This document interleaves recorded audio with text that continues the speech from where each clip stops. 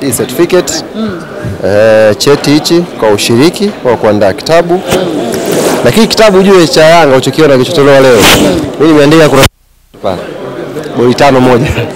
Wewe ndio unaandika hiyo. Hawa wazee walikuwa wanaandika historia za miaka ya 30 eh, miaka ya 40, 50, 60. Mimi sikuwepo huko, wazee walikuwa wanaandika. Ilipofika elfu mbili na ishirini hapa ambako mimi niko hai nimeshuhudia, ah, mtaona mwandiko wangu. Yaani mkiona sehemu iliyorudiwa sana eh, Musonda ikapigwa cross yao kama Nadesha akasogea mbele kidogo akapiga maji eh, beki mmoja wa, wa, wa, wa Makoro ni mfupi akaongezeka ufupi, Musonda akapiga kichwa, huyo ni mimi huyo. Eh, paragrafu ya ya pili eh, Pakome akafanya kama amewakodi Makoro akawanyasa, akawaburuza akawagaragaza. Ujue ni mwandiko wangu kwenye kitabu e, nimewashughulikia vizuri yani historia inabidi ikae na nimeiweka mule, nimeandika vizuri, niambia wazee kwenye tano moja niachieni, nikaingia pale. Kwa hiyo na mchango wangu na cheti kipo hapa. E bwana leo hali kwa mara nyingine tunaiona tai. Hii wiki ulikuwa unatembea na medali tu. Eh, kabisa eh, kabisa, Na kabisa. kuongezeka cheti vipi? Tutembea nacho ama tunakipumzisha? Ah, kesho kesho kwanza asubuhi kesho mapema kabisa tuna safari uh, tunaanza rasmi kesho uh, tunaanza rasmi tour ya makombe yetu. Niliwaahidi siku ile, sio utani, niliwaambia makombe haya ambayo tumeyachukua yatatembea Tanzania nzima. Unajua mlifikiri sherehe zimeisha, bado. Kesho tunaanza rasmi Geita tutakuwa na tukio kubwa sana Geita, na nitumie fursa hii kuambia wakazi wa Geita, kesho mwenyekiti wa wasemaji nakuja hapo nikiwa na makombe yote mawili, nikiwa na tuzo yetu ya BMT klabu bora ya mwaka, nikiwa na medali zote mbili na nikiwa na kitabu. Hatujaacha kitu, kwa hiyo tutavizungusha vyote kesho. Tutoka Geita tunakuja Mwanza, kwa hiyo sasa hivi ndio party inaanza. Kama mna nafasi, tuendeni Geita kesho. Kuna nyama za kutosha zimeandaliwa, ng'ombe kama saba hivi ambao wanachinjwa, tunakula tu Party la maana kesho. Kwa hiyo kesho naanza. Kwa hiyo kesho medali itarudi hapa. Eh, leo ilikuwa tai kwa sababu ya hafla hii kubwa kidogo. Kesho medali inarudi hapa. Safari inaanza. Chukua muda gani medali kuivua? Ah, Hapana. Kama ilivyochukua muda kuitafuta, inavyochukua muda huo kuifuta, eh, kuivua. Ali, kwanza tuwapongeze Yanga kwa hatua kubwa ya yeah. kuzindua kitabu ikiwa ni klabu ya kwanza na kuandika historia. Uh, kitabu kitagharimu kita- kiasi gani kwa hard copy na watu ambao wanaweza kukipata kwa njia ya online watakipataje? Lakini pia hapo hapo uh, kitabu kimeandikwa kwa lugha ya Kiswahili. Vipi, kuna namna mnaona mnaweza mkaangalia lugha nyingine kwa version ya, ya, ya, ya Kiingereza, Kifaransa kwa watu ambao hawafahamu Kiswahili? Swali zuri sana. Kujibu swali lako la msingi la pili uh, kuhusu version ya lugha ya kitabu. Kitabu kilichozinduliwa leo hii hapa kimeandikwa kwa Kiswahili, lakini tuna version nyingine ya Kiingereza ambayo tutaizindua na hii itauzwa sana kwenye soft copy, kwa maana ya watu kununua kwa njia ya mtandao. Tuna version nyingine tumemalizia ya Kifaransa ambayo pia na hii inatengenezwa. Tunafikiria kuwa na version pia ya Kiarabu zile lugha nne kuu kabisa kwenye football yote ya Afrika tunataka ziwepo mule ndani. Kwa hiyo version hizi za lugha zimefanyiwa kazi. Leo tumezungumza Kiswahili, lakini tukienda kwenye soft, uh, soft copy hapa tukiuza Kiswahili ndani ya muda mfupi tutakuwa na version ya Kiingereza ambayo tutaiuza. Swali so, lako la kwanza umeuliza kuhusu bei. Kitabu ambacho kimezinduliwa leo hard copy bei yake ni shilingi laki moja kizinduliwa leo, lile kubwa kwelikweli ni shilingi laki moja, lakini kwa ambaye atakisomea mtandaoni kupitia application ya Young Africans ni shilingi elfu thelathini. Hicho hautaweza kukipakua kwa kizungu, maanake hauwezi kukidownload. Utakisoma kwenye simu yako, utakisoma kwenye laptop yako mpaka utakimaliza. Hauwezi kuscreenshot au chochote, unasoma tu mtandaoni. Hicho ni shilingi elfu thelathini na sasa hivi ninavyozungumza tayari kipo kwenye application. Ukiingia kwenye app yetu, sehemu ya kitabu utaona, utaanza kusoma pale. Lakini kesho makao makuu ya club tayari vitabu vitakuwa vinauzwa kwa shilingi laki moja.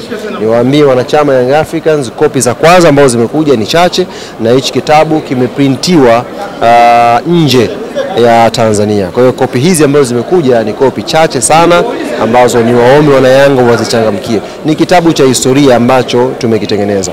Tutakuwa na version nyingine ya pili kwa sababu unajua hivi vitabu kawaida vinakuwa vina version tofauti tofauti kulingana na mahitaji ya watu.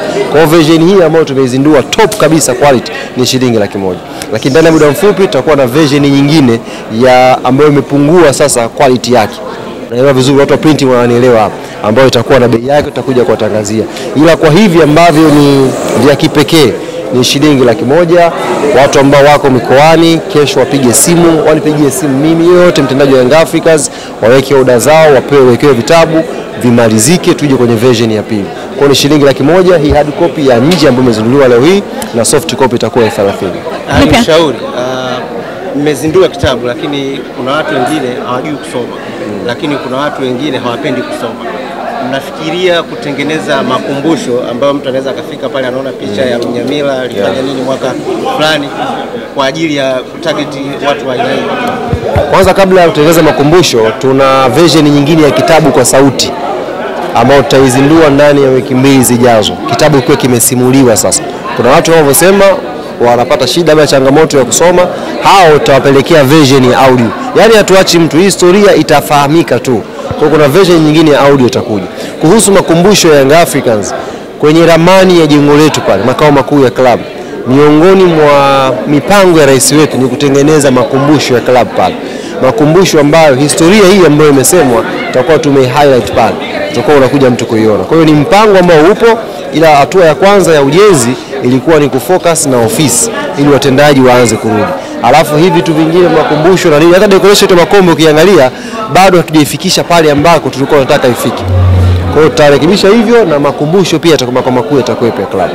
Tujuze pia kuhusiana na mchakato namna ulivyokuwa, iliwachukua muda gani mpaka kukamilisha? Yes. Kitabu kimetumia miezi saba, miezi saba kukiandaa. Nimeona jopo la wazee ambao wameandaa hichi kitabu, tumefanya nao kazi kwa karibu, kwa sababu wewe unapeleka wapi kombe? Ah, sawa sawa, peleka mimi. Unashtua? Naibiwa Ah, ma- watu migogoro mingi, unaweza kusikia mtu kapita nalo wewe. Eh, mtu kaambiwa labda ajiuzuru, ana kombe li- kalitoa la kwetu. Kwa hiyo tulilinde ile kombe. Nilikuwa nazungumzia kuhusu Mchakato ulivyokuwa. mchakato ulivyokuwa miezi saba kuandaa hichi kitabu. Hawa wazee tumefanya nao kazi kwenye kuandaa hichi kitabu, kwanza niwapongeze sana kwa sababu wametoka nje ya familia zao, wametoka nje taratibu zao za kawaida za kimaisha kushughulikia hichi kitabu. Tulikuwa nasafiri nao Zanzibar uh, kwenda kumhoji Mama Karume, nasafiri nao Bagamoyo, labda kuna mtu yupo kule, kuna mtu bado yuko Mwanza, wote ambao tulikuwa tunahisi wana historia ya Yanga tulikuwa tunawafuata. Kwa hao wazee wamesafiri, tumesafiri nao sehemu nyingi. Mimi kuna wakati mlikuwa hamnioni hapa, mnafiba nimefungiwa mahala au Tabata. Hapana, nilikuwa nazunguka kwa ajili ya kuandaa hichi kitabu eh, nilikuwa nazunguka kwa ajili ya kuhakikisha kitabu kinakamilika. Kwa hiyo mchakato wa miezi saba na leo umefikia hitimisho lake kwa maana ya kitabu kuzinduliwa. Hichi ni kitabu ambacho kimekusanya historia ya Yanga kutoka mwaka ambao sio Yanga ilianzishwa, wazo la kupatikana Yanga. Mzee kasimulia vizuri pa Yanga ile Februari 11 1935 ni tarehe ambayo Yanga ilisajiliwa. Kuna mchakato wa Yanga kufikiria kuwepo mpaka mchakato kabla ikasajiliwa. Hizi nondo jeni unazipata kwenye kitabu tu. Na sasa hivi nitakuwa nawasumbua sana waandishi, mkinihoji nafanya reference peji ya 119 Eh, kwa hiyo bidi mkakisome na nyie. Moja ya 19 amezungumzia fani fani fani. Kwa hiyo tulifanya vitu vyote kuhakikisha historia ya Yanga yote tunaikamana. Maana tulikuwa hatuna haraka. Tunataka tutengeneze kitu chenye quality ambacho hakitabakisha historia ya Yanga Africans. Mwa vitu ambavyo sana ya kwamba uongozi bora wenye uvumilivu ndio unaweza kuandika historia. Kabisa, kabisa. Labda ulikuwa unamaanisha nini? Namaanisha hivi, ili utengeneze historia na watu waweze kuisoma, yaani historia ukaiandike na watu waisome, inakulazimu uwe na subra kwanza ya kutafuta hiyo historia yenyewe. Kama unateua kiongozi leo, ndani ya wiki mbili kiongozi anajiuzuru kwa mawe. Kama unakuwa na mashabiki leo, ndani ya wiki tatu mashabiki wanakwenda jela, mashabiki wanafukuzwa. Maana hivi tena hamjazungumza kabisa, waandishi wa habari, mashabiki ambao waliifanya timu iwe klabu bora ya mashabiki, ile tuzo ya mchongo, si mmekumbuka? Wakaitwa mashabiki bora. Hao mashabiki ambao walikuwa wavumilivu, timu imesajiliwa hovyo, timu inaendeshwa hovyo, wakawa wavumilivu, wakavumilia na timu. Leo hii wametimuliwa, wamefukuzwa. Yaani kama mtu kashika jiwe kaona mbwa yuko mbele kampiga na mawe. Ni tukio la hovyo ambalo nyie mmeshindwa kulisemea. Mimi nalisemea kwa sababu mimi ni mwenyekiti wa wasemaji wa timu zote, na hii ni haki yangu kabisa. Makoo mnaburuzwa mno. Historia pekee ambayo mnaweza kuiandika kwenye kitabu chenu ni historia ya machozi, jasho na damu. Sasa furaha kuna hili tukio la kutimuliwa watu, yaani watu wanataka kutoa maoni yao kwamba jamani, mnatuburuza, mnafanya maamuzi ya kuwatimua. Niseme kabisa, mashabiki wa Makolo ambao wametimuliwa, Makolo sio mama yao mzazi. Mimi kama mwenyekiti wa wasemaji nawakaribisha wasiteseke, wote waliotimuliwa kwenye timu zao, waliofukuzwa bila heshima, na wakaribisha waje, hawawezi kudhalilika. Yaani timu iliyosajiliwa hovyo, wao waliivumilia, alafu mwisho wa msimu wanataka kutoa dukuduku lao, wanafukuzwa. Haliwezi kuwa sawa hilo jambo, na kama mwenyekiti na hapa mudi ishaanza kuchange. Tendo hiki ni kitendo cha hovyo, kimefanyika. Mudi imechenji kwa sababu kuna haki ime- imedhulumiwa, kuna watu wamepambana na makosa ya watu wengine wakavumilia msimu mzima. Msimu umeisha, hawa watu hawana mawe, hawana mapanga, hawana bastola, wanakwenda kukutana kuzungumza, mnawafukuza. Polisi washafanya jukumu lao kwamba kuzuia mkutano wao, lakini mmewatimua. Mna hofu na nini? Mtu akiongea ameenda jela, akiongea mwingine mnamfukuza. Mna hofu na nini jamani? E, mna hofu gani? Mimi niwaambie, hawa waliotimuliwa wawili ni mashujaa mashujaa wa Makolo wamepatikana leo. Wengine wakishindwa kuwaunga mkono wenzao, mwakani zitafika kumi. Sasa hiyo mwakani ni ahadi yangu naitoa, Nawafunga kumi. zitafika. Na, uzu, na uzuri Mwenyezi Mungu mwingi wa rehema, mchezo wa kwanza tu, yaani baada ya wao kujitafuta na mawenge yao haya chupli chupli haya, mechi ya kwanza na Yanga Afrika ngao ya jamii. Wanafanya usajili mzuri wanafanya mara hii. Ndugu yangu, usajili mzuri, kucha hizo fike Viongozi hawapo hapa. saluni weke vidole hivi wapake. Wewe unafikiri usajili mchezo? Wewe unafikiri usajili mchezo ufike tu hivi? Wewe tajiri alikuwa weke, unajua wenyewe mnashindwa kuelewa. Yaani hapa mnanipandisha mood. Tajiri alikuwa anatoa hela muda mrefu. Shida walikuwa wanasajili watu wa- wabovu. Yaani hela haijawahi kuwa shida. Shida ilikuwa watu wabovu. Sasa hawa watu wabovu wame- wamewafanya watu wakapata hasira. Wametaka kutoa maoni yao, mnawatimua. Sio sawa. Hii sio fair, hilo la kizungu limeweka. This is not fair. Hawa watu wanatakiwa waende nini hivi, kuna kuna kuna katiba inaruhusu kwenda mahakama ya rufaa. Kama hawana marufaa, mahakama ya rufaa waje Yanga tawasaidia. Sisi Yanga ndo mabingwa na mabingwa tukuja, waje Yanga kesho asubuhi, tutawasikiza washauri, tutaenda kwa ah, sishindwe kuwashughulikia wale, tuwashughulikie saba, tushindwe kushughulikia kesi ndogo ya watu wawili. Hii ni jambo la hovyo, na hawa watu watendewe haki yao. Wapo ambao wanaamini wanasema migogoro inapishana pishana, pengine msimu wao msimu ujao wenyewe. Unajibu. never chini ya uongozi huu wa engineer Hersi Said, chini ya uongozi huu wa kamati yetu ya utendaji yote, chini ya mfadhili wetu Ghalib Said Mohamed GSM, tajiri pekee ambaye akitaka kuzungumza neno lake ni Yanga bingwa. Yanga haiwezi kurudi kule ilipotoka. Najua dua za watu wengi wenye roho mbaya, roho za korosho, dua za watu wengi wenye roho nyeusi, watu ambao wamepoteza nuru ya maisha, wanaomba siku moja Yanga iwe na migogoro. Never, sio Yanga hii. Tutaimba sisi kutoka vesi ya kwanza mpaka vesi ya mwisho, hakuna kupokezana na mtu. Sisi tumewekeza kupata hii furaha, kuja bahati mbaya. Hawa wakina Godi wananenepa, vitambi vinaongezeka, kuna watu wamefanya kazi ya ziada. Hii mipango tuliyokuwa nayo haijakuja hivi. Injinia wakati anasafiri anakwenda Spain kuchukua mfumo wa uongozaji wa timu, tumekuja hapa, watu walikuwa mnakenua kama ngiri, meno yapo huku, kakutumia hela vibaya. Leo hii tunakula matunda ya mfumo, ndio kwanza misimu mitatu. Ule mfumo wa La Liga unaonyesha mafanikio miaka hamsini, yani Yanga anaweza akafanya mafanikio miaka hamsini.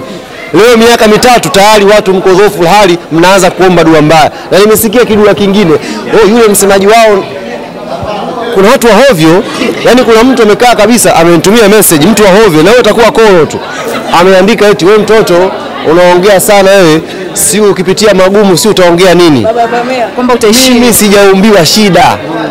Ali Shaaban kamwe ni announce hapa, si, sijawahi kwenye maisha yangu kuumbiwa shida, sitapitia kwenye shida as long as nipo Young Africans. Rais wangu ni engineer, GSM yupo, never hamtakaa mnisikie mimi naombea naongea kama muombolezaji. Sio kuwa unalia kuna kama simulia. naembisha beti za kwenye msiba pambio. Mimi siwezi kuongea kama pambio kwa sababu timu nayo, viongozi nayo, na tutawachapa mfululizo. Hii wekeni kwenye kumbukumbu vizuri, Tutawachapa ambao mnasubiri kwamba eti siku moja na mimi niongee sura ikiwa imesawajika. Unajua kusawajika?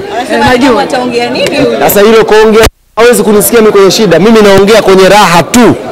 Na ndio maana wakati nakuja Yanga engineer alivyonigia project akawa na miaka 50 ishazeeka, yani kama kupitia baadaye mimi nisha kama mzee Karume huko mbele ishazeeka. Sasa huko leo huko, sio leo hiyo. hadi wewe kuambia kwamba kuna mawakala ambao wanapiga hela kupitia Young Africans. Kwamba wachezaji wanahusishwa na klabu yenu afu wakiondoka unakuja niambia kama mmemkosa ili eh, kuna Wapo shekhe hapa karibuni, mjasikia story nyie?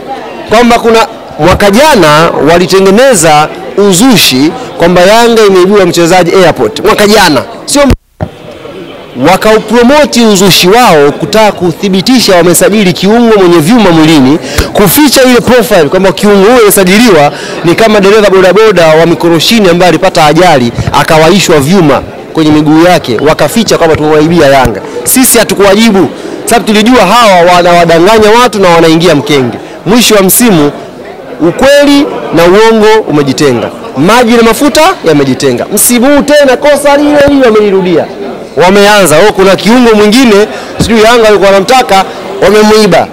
Mimi niwaambie Ah, kuna kiungo sasa, hata kina kiungo ndani hapo, walisema kwamba kuna kiungo ya amepokonywa.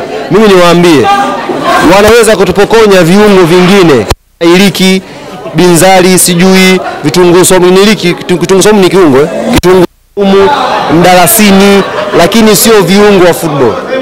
Malengo tuliyokuwa nayo hapa, nikiongea friji linaanza kupata moto, naanza kutaja usajili. Sasa hapa mnaanza kunichokonoa. Injinia yuko pale usajili ambao hii ni siri yenu, tupunguze sauti. Na uzuri dirisha hiyo. Dirisha ishafika na friji ishaanza kupata moto hapa, nashindwa kujizuia. Usajili ambao tumeufanya, ndugu zangu waandishi wa habari, una mambo makubwa mawili yanakwenda kutokea. Namba moja, wanayanga tutafurahi meno 32 yote nje, yaani hatutacheka hivi, tutacheka hivi, hata hivi hivi ni meno machache, tutakenua meno 32 nje. Namba mbili, usajili tuliofanya utaliza watu machozi ambayo yanaweza kujaza ndoo. Yaani watalia, watajifuta, watalia tena, ndoo itajaa, ndoo itajaa na watabeba, wataioga machozi yao wenyewe. Hii nimeweza kuona sasa.